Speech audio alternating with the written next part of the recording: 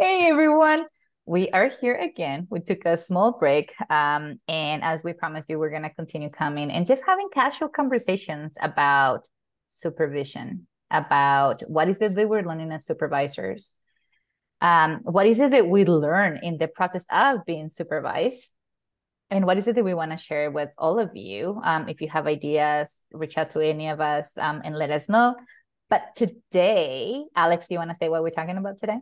Yes, we're talking. We're going to be talking about knowing your worth, especially um, as a therapist, as a professional. When you are launching trainings, consulting, what do I charge? What's what's the fee that I look at? What is it?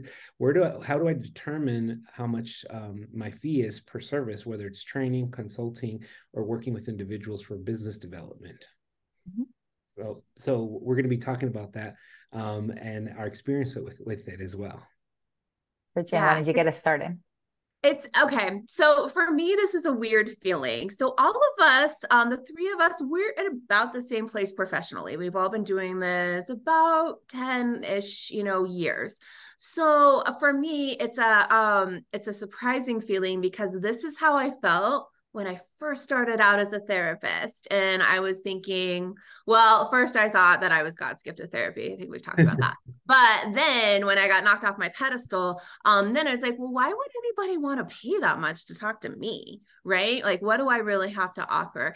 And um, I'm kind of surprised that I, I know this feeling now because I'm feeling it again as I start to pivot more towards consulting and training and you know what what do i charge what what is a reasonable fee i don't want um people to mm, I don't know, fill in the blank. I'm not sure what I think they're gonna do. Um, be mad at me or not like me or think, oh my gosh, who does she think she is?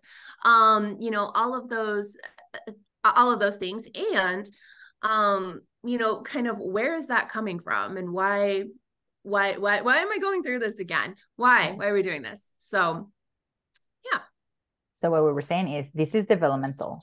It happens to all of us and it comes in cycles and and it's completely okay. Right? It's a moment to pause. Um, especially if you are in private practice. Um, what is it? What are my expenses? What what is it that I need to do? What's around me? So there's quite a bit of homework that we have to do in order to say this is what what this is the standard um, in order to keep up and value our field. But even if you're working for someone and you have employees, and if you um, if you have you know con- contractors, whatever it is, um, how do you know what you're worth? We all have the same foundation. Mm-hmm. All of us went and have a master's program. Mm-hmm. All of us are working either towards licensure, but same foundation, or a license or a seasoned therapist.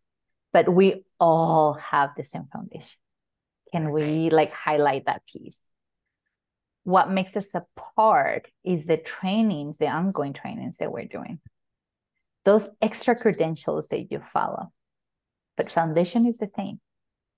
And then is what how are you investing in yourself? Correct. in order to set you apart in order to say fill in the blank um, i deserve this because of this I was mm-hmm. gonna cuss, but I was like, I'm gonna be professional today.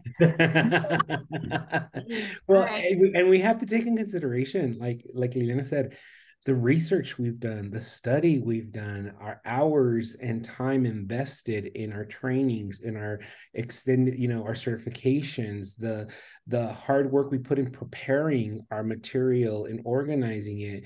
It takes time and energy, and so if we were to put quantify that um, it really does make sense. And so when you get invitations to consult, to train, to present, you have to take into consideration travel, um, you know, the preparation, um, the research, all of that has to be put into um, into consideration and um, establish your fee at a place where you feel that it's comfortable and it covers all bases. Mm-hmm. So even as yeah. a therapist, right? Even if you're working just as a therapist, um, Jen has an agency. Um, uh, Alex and I just do consultations um, for now. Um, Alex recently pivoted. Um, yeah. But even when we're talking with colleagues or when we're talking with supervisees, consultees, when we're talking with employees, is how do we help you so that we can start the conversation of what's your worth? Do you know your worth? Mm-hmm. What is it about you that sets you apart? There's lots of therapists. I love um, when Brené Brown comes to Colorado and she has been here in a while. But last time that she was here, she's like, this is the state that has the most therapists nationwide. So in my mind, I was like, oh, we're like Starbucks in every corner. Um, so if we take that analogy, what sets me apart? Mm-hmm. What's my specialty? And even when you set up a fee, um, are you working with the population? Do not devalue, but this is where again, uh, we were just talking earlier about the conditioning that we got in our school in regards to we're here to serve to serve mm-hmm. others and then we feel guilty for right. charging for no shows like cancellations or even setting up our fee or raising our fee. right. um so how, how do we have these conversations openly openly so that we can humanize ourselves because you still have to make a living. Mm-hmm. know your worth right? Um this is what i keep learning in the conversations that the three of us keep having. Know your worth. And then if if it, if you are a therapist you know you have other options such as offering sliding scale right? You can use pro bono cases but it doesn't mean that you have to be being resentful to go to work because you're not making a living because you have to take a large caseload in order just to pay your bills yeah yeah, yeah. the yeah. thing that i want to bring up is that um, you have to take into consideration when you set a fee um, and you do more research and you update, you have the right to modify your fee. Yeah. That makes sense. If you've gained more experience or you've got, let's say you went to a conference and you're able to modify your fee because you got certified or because you learned more and you've enriched the process, or it's no longer a uh, 90 minute um, presentation um, it's now two hours you know or it's going to have to be like a three hours that means there needs to be a modification to the fee as well. Don't feel bad. Know your worth and execute it. Yeah. Yeah yeah.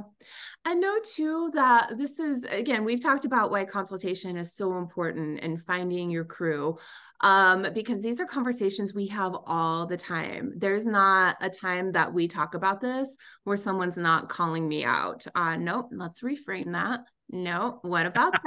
I mean, it happened like 10 minutes ago. So, I mean, this is why it's important to, you know, this is like Liliana said it. That's why it's important for us to be having these conversations and bringing it out into the open.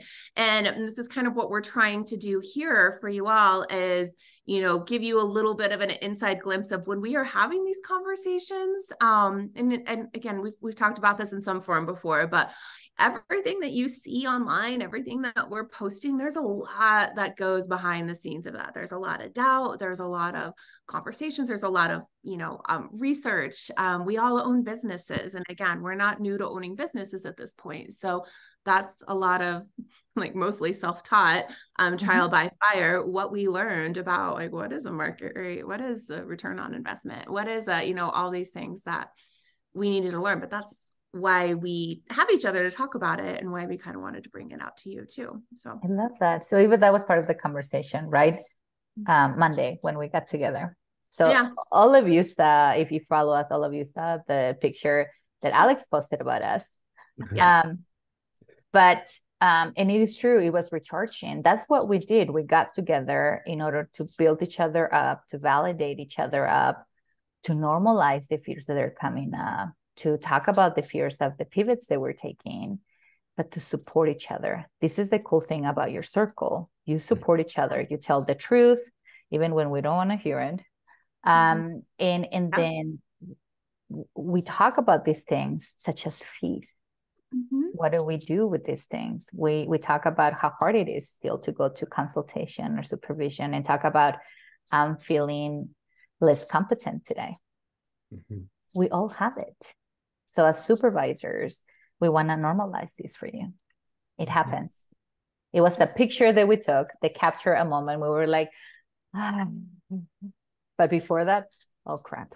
there was a lot of calling out there was a lot of reframing there was a lot of and and you know they're supporting each other and there's challenging each other too like, i'm gonna have to buy a really expensive dinner if i don't get my shit together so there's stuff like that oh I, you and I. I crossed over the professional line. So um yes, um you know that that that's all part of it, but it's it's a necessary part for us to be able to grow and for us to be able to um talk about how um I guess like our impact and um also just the impact of I don't even really know how to phrase it. Our perceived what we think everybody else is going to think.